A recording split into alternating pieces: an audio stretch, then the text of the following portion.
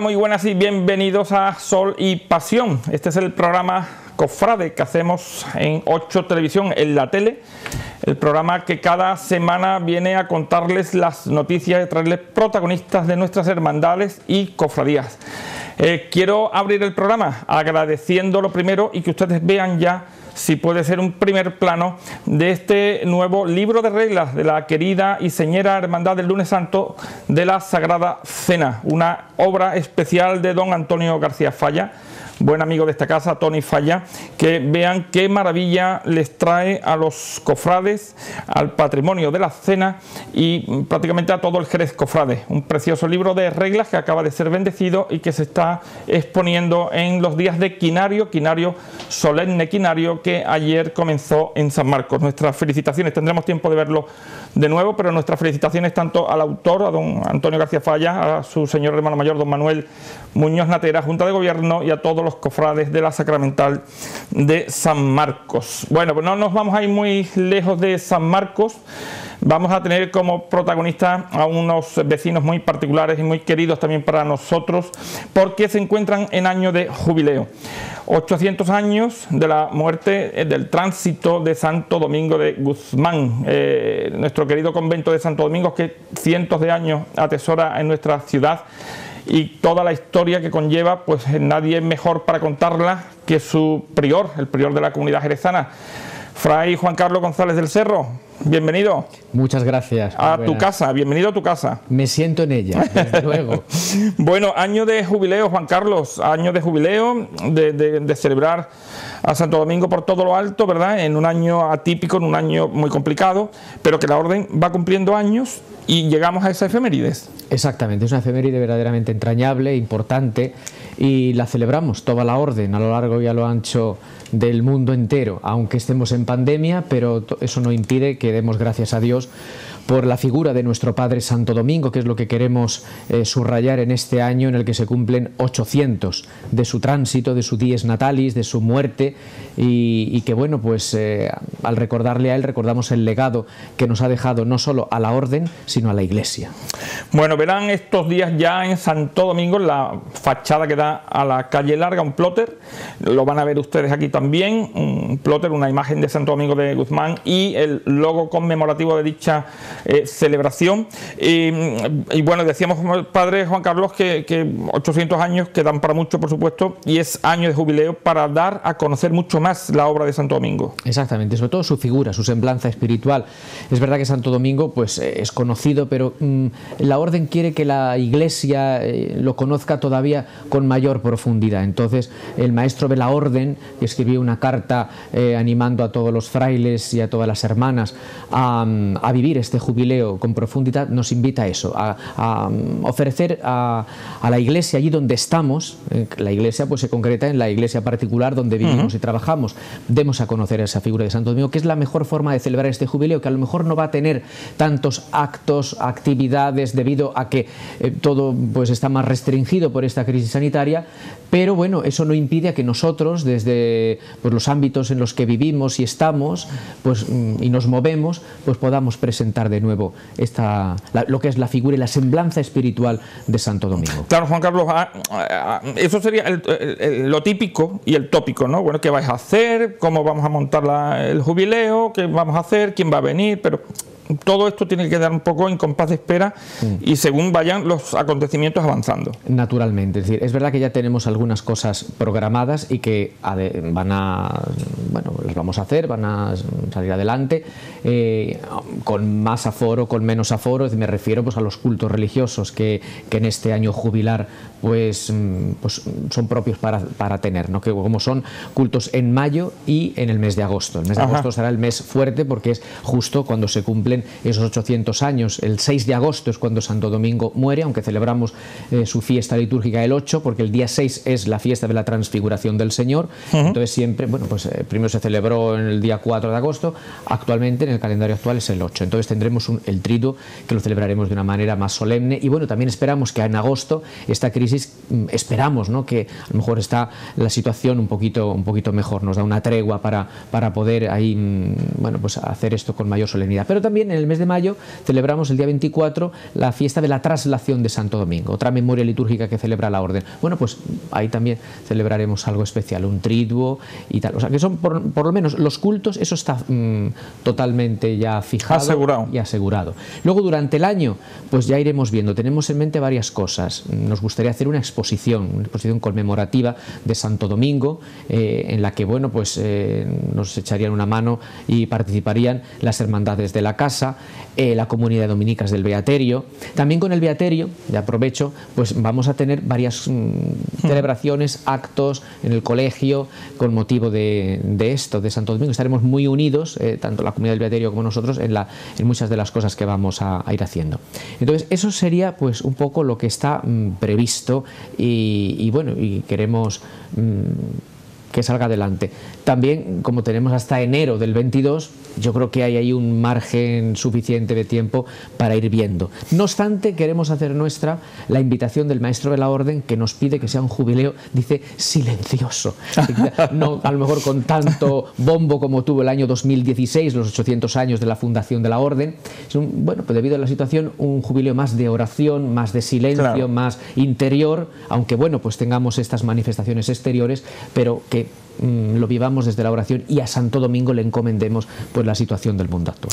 Una pregunta muy genérica, eh, Padre Juan Carlos, ¿cómo, se encuentra la orden en este momento, en este año de jubileo, que, bueno, aunque silencioso como pide el, Padre mayor de la orden, pero quiero decir, ¿cómo se encuentra la orden? ¿Cómo está sentada? ¿Cuál es su representación? ¿Cómo está organizada? ¿Vive buen momento?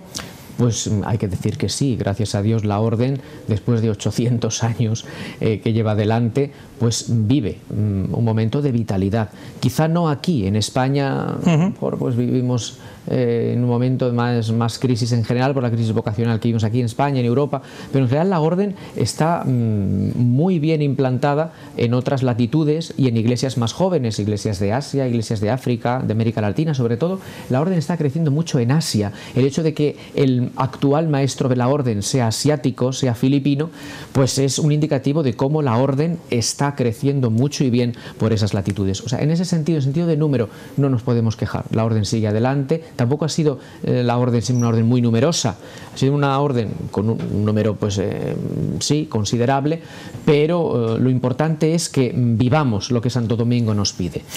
Y una pregunta un poco más personal, también genérica, pero personal.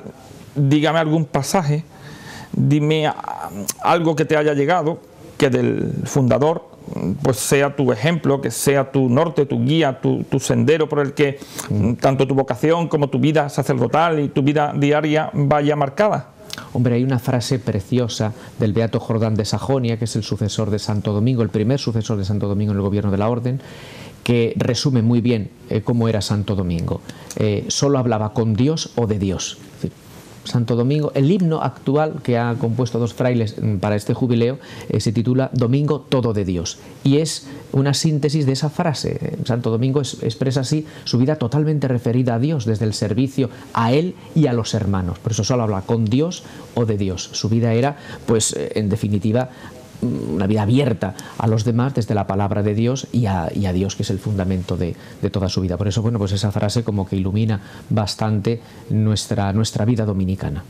Muy bien, pues en el convento de Santo Domingo hace unos días, una solemne misa de sábado por la tarde, ya dominical prácticamente, con gran afluencia de público dentro de las medidas de seguridad, todo lo que se puede.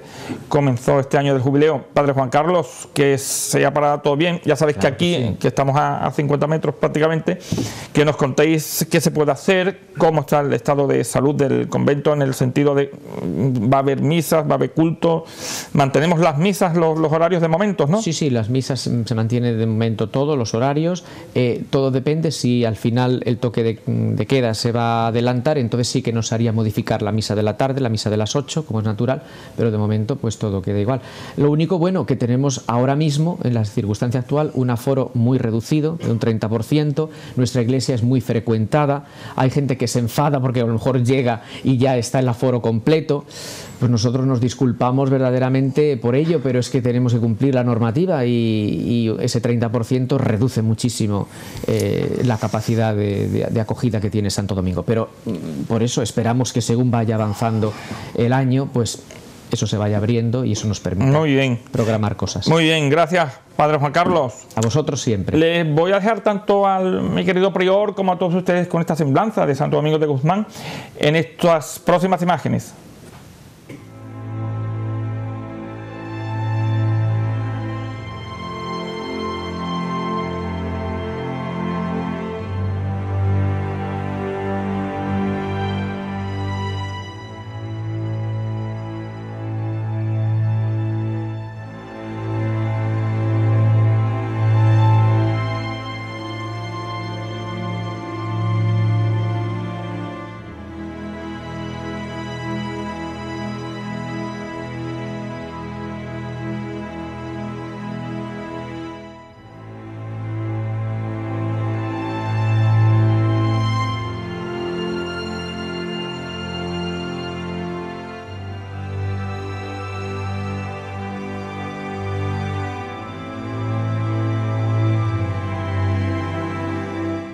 Imágenes de Santo Domingo de Guzmán, ya saben, años de jubileo por Santo Domingo. Bueno, no nos vamos a ir muy lejos del entorno de aquí del, centro, ¿verdad? De la Rotonda de los Casinos, Cristina, nos quedamos en el barrio de la Albarizuela. Eh, tenemos ya días prácticamente a fechas vistas en la festividad de la paz. Saben ustedes que habría habitualmente el curso cofrade, la señera hermandad del Domingo de Ramos de la coronación de espinas, con un tríptico mariológico que cada año, ya digo, daba el pistoletazo de salida a las convocatorias y citas cofrades de la ciudad en cuanto terminaba la festividad de la Epifanía. Bueno, eh, si bien todo este año eh, se estaba programando con la misma normalidad de, siempre, ha habido muchos cambios, la cancelación de dicho tríptico, eh, las medidas de seguridad y de aforo para la capilla de los desamparados pues están reducidas que la hermandad plantea una segunda sede para un triduo en lugar del quinario cuaresmal o precuaresmal y la festividad de la paz. En definitiva, muchos cambios, para eso está aquí su señor hermano mayor, don Francisco Javier Román. Querido Francisco, muy buenas. Muy buenas, ¿qué tal? Muchos cambios, ¿verdad? Muchos, y los que quedan. y los que quedan, desgraciadamente. bueno, vamos a ir un poco por orden. Eh, teníamos el tríptico mariológico que conforme termina la epifanía del Señor se pone en marcha. Lo hemos tenido que cancelar. Eh, bueno, los listos dicen que por qué no lo hacemos en octubre, por qué no lo hacemos en noviembre, los mayos, vamos, los listos y los torpes, porque el tríptico tiene la fecha que tiene.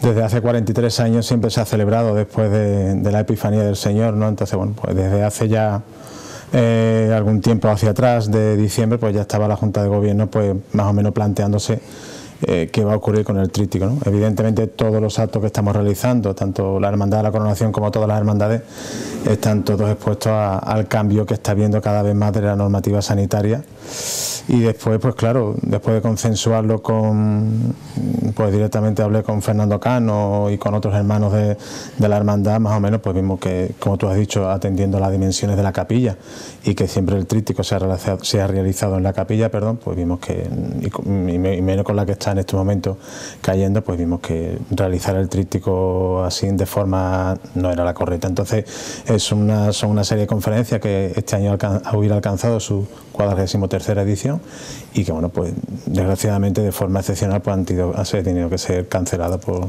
los motivos de que todos sabemos. Los mismos listos, los mismos torpes, aparte de decir que hacerlo en mayo, en noviembre o en octubre, que porque no lo hacemos en un sitio más grande, pues yo que sé, pues nos vamos a, a, un salón de actos, cualquier cosa de esta se planteó, vamos, se planteó, había la idea de que si nos podíamos trasladar a, a otro sitio, pero claro, 43 años haciendo esas conferencias. Y delante de la Virgen. Delante de la Virgen, lo que supone toda la logística de cambiar. Entonces, era. Pero bueno, que tampoco vamos a llevar a la Virgen a, a la sala compañía por poner un ejemplo, para, para, para, el tríptico tres semanas, para el sábado, con conferenciantes que vienen de Sevilla, normal, habitualmente vienen de Sevilla, y con el problema de, toque de queda. Nos, cogió el tema de toque de queda, de confinamiento de población, o sea que había todo, todo era en contra de que se pudiera celebrar, y bueno, con nuestro dolor de corazón, pues tuvimos que decidir suspenderlo y comunicárselo a los hermanos en una carta, y bueno, pues ya después darlo difusión a todos los medios de comunicación.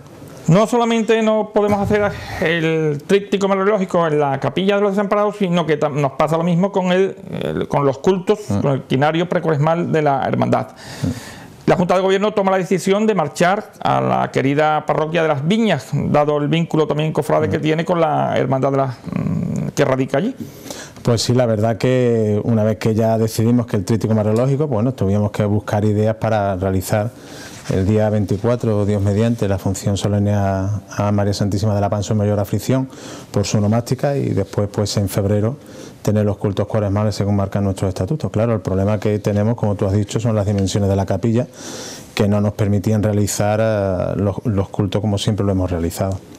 Eh, yo antes de todo quiero agradecer públicamente, pues sobre todo a don Javier, al párroco de las Viñas, y al hermano mayor de la Hermandad de las Viñas y a toda su Junta de Gobierno y a todos los hermanos la amabilidad, la predisposición que han tenido con nosotros, el diálogo abierto de, darnos eh, la parroquia para celebrar los cultos. Lo que ocurre es que, claro, con todas las medidas sanitarias y todo lo que está cambiando, tenemos que ir reuniéndonos casi día a día o casi dos días, porque estamos en función de celebrar esos cultos, atendiendo a lo que la normativa sanitaria en estos momentos pues, nos diga. Así que está previsto realizarlo el día 24 en la parroquia de las Viñas. Ah, eso, eso, y vamos. Vamos a dar un poco el, calendario y en principio el horario, dependiendo del toque de queda que nos marquen de aquí a unos días, a unas horas, prácticamente las autoridades. ¿Está previsto el triduo, solemne triduo? El triduo solemne sería en febrero después del miércoles de ceniza, sería el jueves después jueves bien después del miércoles de ceniza y el domingo sería la función principal en, las viñas. La hora no está acordada todavía porque no sabemos, en principio atendiendo los oficios que tenga don Javier, tanto como párroco de las viñas o en otras disposiciones y el día 24, el domingo, tendremos la, función de la Virgen a la 1 y cuarto. Pero como te digo, todo puede cambiar atendiendo a la normativa sanitaria. Y entonces, claro, pues esta Junta de Gobierno, la cual presido y de la cual pues me siento muy orgulloso porque estamos encima de todas estas cosas, pues la verdad que tendremos que ser lo suficientemente responsables y tomar las decisiones que tengamos que tomar a medida que, la normativa sanitaria vaya trabajando. estamos hablando de la semana que viene. No, estamos hablando de este domingo. De este domingo, eso Exactamente. Eso es. Bueno, vamos a ver, ojito, porque de aquí al domingo... Las cosas están cambiando continuamente. Eh, mm, desgraciadamente los datos no son muy buenos, pero bueno, tenemos que esperar las comunicaciones oficiales y con esas comunicaciones oficiales lo que intentaremos es darle a los hermanos, pues bueno, la mayor seguridad y sobre todo la mayor responsabilidad que cae sobre nuestra espalda de que esos cultos se puedan realizar con toda la garantía sanitaria posible, evidentemente. Eh, como ven la Junta de Gobierno, las juntas de gobierno no paran, parece que están paradas, en muchos casos eh, casi mejor que se paren, pero las que están funcionando están realizando también el enriquecimiento en lo posible de su patrimonio. La eh, querida Hermandad de la Coronación hace unas fechas recibía desde el Instituto Andaluz de Patrimonio una saya que ha estado allí unos meses y que de nuevo está ya en poder de la hermandad. Bueno, ya está allí. Ya está aquí. Ya está, no, ya está allí. Ya está allí, perdón. pues mira, la verdad que fue uno de los trabajos también más laboriosos, solamente porque en primer lugar necesitamos el cabildo de los hermanos para aprobar la restauración de, de una prenda que para nosotros es una verdadera joya, tanto para la Semana Santa de Jerez y como para la Semana Santa de Andalucía y sobre todo después de saber el informe que nos presentó el Instituto Andaluz de Patrimonio de la riqueza del bordado que tenía de la saya, que incluso nos han hablado que, ese tipo de bordado no lo han visto en ninguna prenda que ha pasado por aquellas dependencias, que sí te puedo garantizar que por allí han pasado y están pasando verdadera joya del bordado en la parte textil, ¿de acuerdo? Entonces, bueno, pues para nosotros como Junta de ha sido un orgullo de, que, pues, gracias a Dios, pues esa saya de Pedro de Lima del siglo XVIII pues pueda ser restaurada y que nuestra sagrada titular, pues Dios quiera que en dentro de no mucho, si se puede, pues pueda de nuevo lucir en el, Domingo de Ramos. Entonces, y además patrimonio que está llegando a la hermandad. Pues sí, la verdad que eso es bueno, eso es muy bueno, lo cual me siento orgulloso porque hay una serie de, hermanos de la hermandad eh, que quisieron y han entregado una corona de espina de plata al Señor rememorando una fotografía antigua que, que había del siglo XIX, creo que era, rememorando pues una fotografía antigua del Señor, donde había una interpretación de una corona, que creo que era de alambre, pero bueno, se, se ha hecho una corona de plata y bueno, se, se recogió de forma íntima, de acuerdo con la normativa sanitaria, el número de personas que podían ir, se recogió en, la capilla y bueno, pues esperamos en, el momento que consideremos adecuado y que pueda, pues que se pueda poner sobre el Señor. Bueno, Francisco, yo te, agradezco mucho el contacto porque eh, no saben ustedes las de días que llevamos hablando con, Francisco y ha pasado casi de todo. y para bien además. Gracias a Dios para bien. Pero bueno, pues mm, el COVID también afecta y cuando afecta de cerca, tengo miembros de la Junta de Gobierno que están ahora mismo confinados por el COVID, a los cuales desde aquí pues les mando un abrazo muy fuerte y hablo con ellos continuamente por teléfono, pero bueno, desde aquí les mando un abrazo muy fuerte a todos que estamos con ellos. Hemos vivido episodios de Hermanos de la Hermandad y estamos viviendo episodios de Hermandad muy duros. Algunos, gracias a Dios, han salido y sobre todo, bueno, pues cuando te, que te toca esto ya cerquita, cerquita, pues... Pero bueno, gracias a Dios, rezándole al Señor la Virgen y que acordándonos de los que ya no están y esperemos que, que esta pesadilla pues poco a poco vaya desapareciendo, pasando y que dentro de nada pues nos veamos como siempre lo hemos visto. No la normalidad, porque a mí eso de normalidad no me gusta, sino como siempre. Como siempre, en verdad. Bueno, pues vamos a concretar, eh, Francisco, aparecerán los sagrados titulares de la Hermandad de la Coronación en la parroquia de las Viñas. ¿Qué día? Y, no, del día no te lo puedo decir porque el traslado, si se realiza, será de forma privada, evidentemente, pero claro, es lo que te reitero, lo que te he dicho antes, que estamos pendientes de la normativa sanitaria. Pero el domingo sí estarán. Esperemos. Esperemos que sí. Bueno, pues para saber un poco por dónde andamos. Gracias, Francisco. que vaya todo bien, mucha salud para todos los queridos hermanos de la Coronación de Espina y por supuesto todos los cofrades. Yo despido a nuestro hermano mayor con imágenes, no puede ser de otra forma, del palio de la paz en su mayor aflicción cada domingo de Ramos, cada domingo de Ramos que se puede, hay que decir ahora.